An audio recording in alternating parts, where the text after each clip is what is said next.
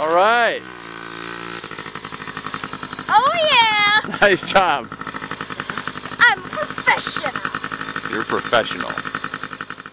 Hey guys, Yankee Prepper. Pay attention. Today, yet again, I am going to share with you another gem recipe. This one's from my wife's side of the family again, and you're going to want to share this with everybody you know. You're going to want to record this video. You're going to want to write this down. In fact, you're going to want to keep this the rest of your life. It's that good.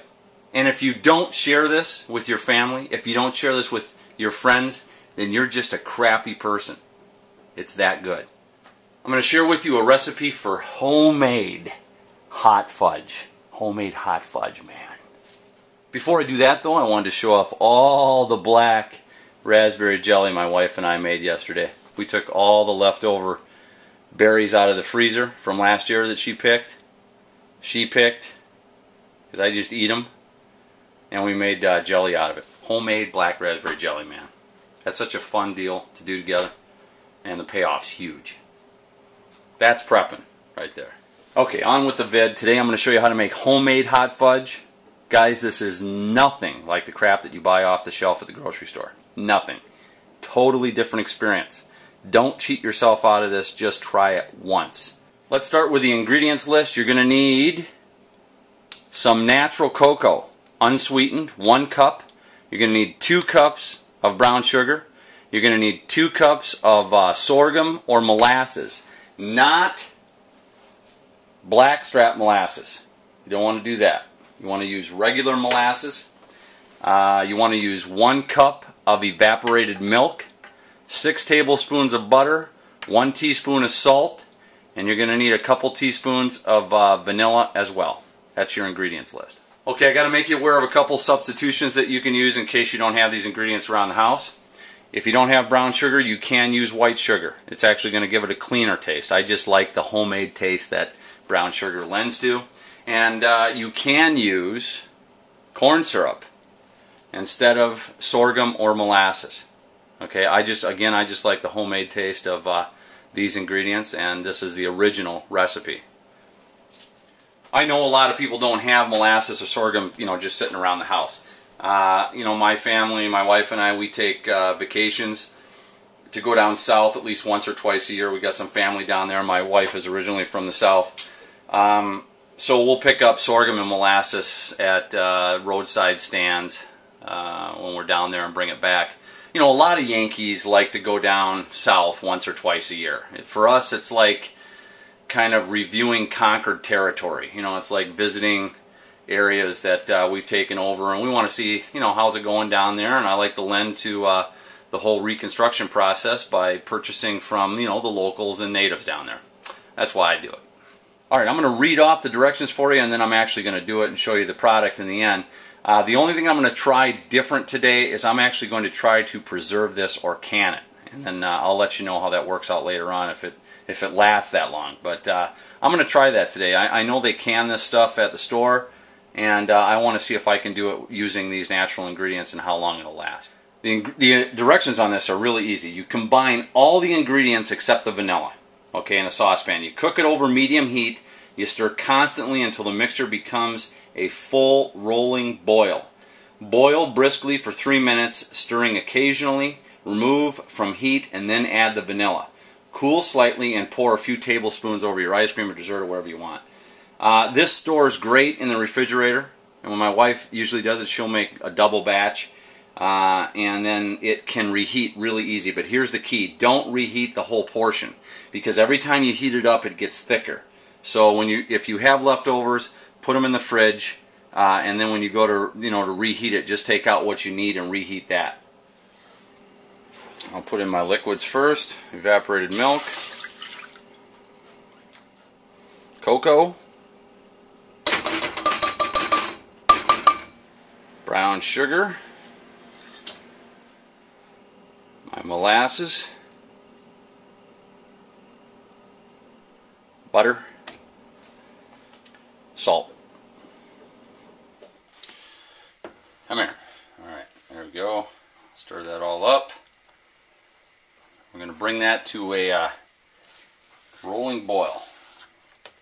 Pretty easy. Even I can do it. You know, I thought I'd give these guys a shout out just in case you cannot get molasses in your area or you want to give these guys a try. But it's Smoky Mountain Molasses, made at Smoky Mountain Honey House, Asheville, North Carolina. Phone number is 828 232 0871. And uh, this is good stuff and it's a real fair price. I can usually pick up a, a quart of it for five bucks. Okay, there's our full rolling boil.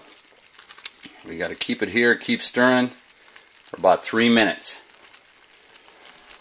This can also be used in the SHTF WROL as a tactical force multiplier.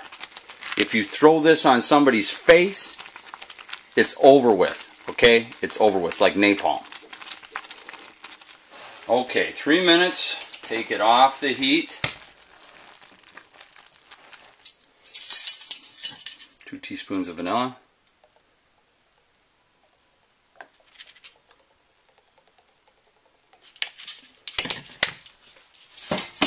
That's it. That's how quick it is. We've got to let this cool off, of course. And it will thicken up. And like I said, I've never done this before, but I'm going to try to uh, preserve this. Make it up ahead of time and preserve it. So I've got some sterilized jars here, and while it's still hot, I'm going to pack four or five. I'll let you know how that turns out. These are the kind of gifts that my wife and I have really gotten into giving over the past, I'd say, eight or nine years. And I think it's, uh, I like to think it's more of a prepper thing. You know, we make homemade stuff. I mean, we give coffee away and jellies and just homemade food in general or preserved foods, and uh, everybody just seems to love it. And uh, it, I think it means more because it's more of a personal gift, but usually it's really good, and uh, I think that counts for something too. I mean, I if this works, if I can preserve hot fudge, I think this will make a really good gift. I'm going to water bath these for about 10 minutes now. So the, I think the hardest part about this is, is going to be trying to keep this around long enough to actually make it a test. I'm not sure how I'm going to do that with uh, three kids in the house and me. Uh, but I'm going to try. We'll see how that turns out. And after a while, you can see how this starts to set up, starts to turn into fudge. It's still warm, but it's cooling off. And it gets thick.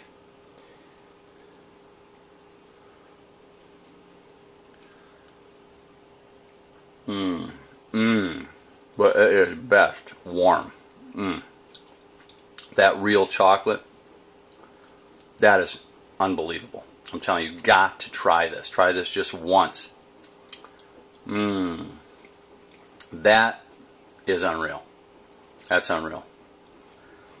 In fact, if you and your spouse get together and eat this while the kids are at school, this could possibly lead to reproductive acts that you've only dreamt of or seen in really bad books.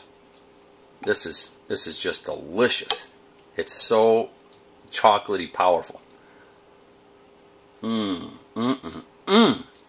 All right, so stay tuned next week because I'm going to show you how to make ice cream in the SHTF.